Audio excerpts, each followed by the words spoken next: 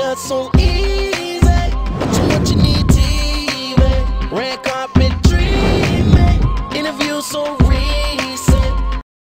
All right, Joe Grande WTV here with Shar Jackson. Shar, how are you doing this evening? I am absolutely fabulous. What brings you out today? You know, this little movie, it's, I hear it's pretty good. I haven't checked it out yet, and I hear there's some really sexy, hot people in it. I hear the cast is amazing. Yeah, so I, I heard you're in the movie. Yeah, yeah, yeah. Oh my God, yeah.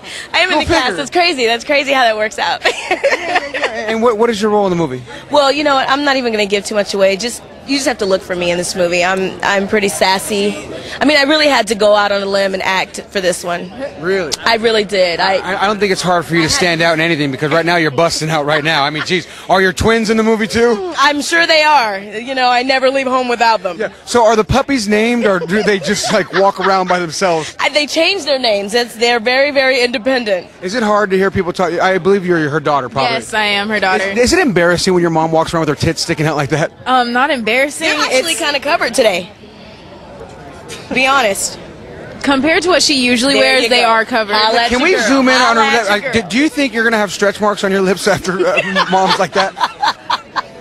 I mean, I'm just saying because I want to try right now.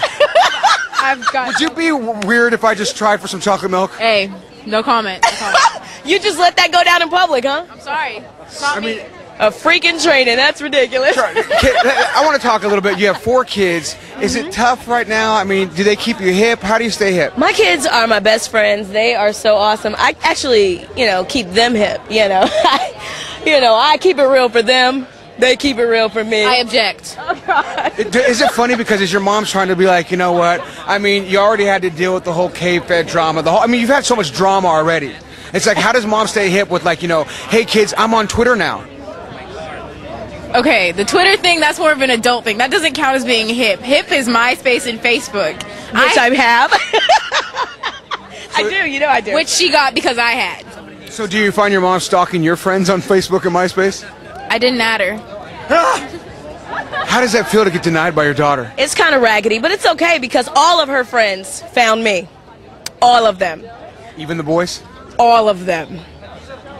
Is it is it tough when is it tough when the boys go, your mom is do they use the term MILF or they just say hot? Honestly. Honestly, I've had multiple friends come up to me and explain their deep fantasies about my mother. Well, you're, I'm going to tell you right now, I'd hit it.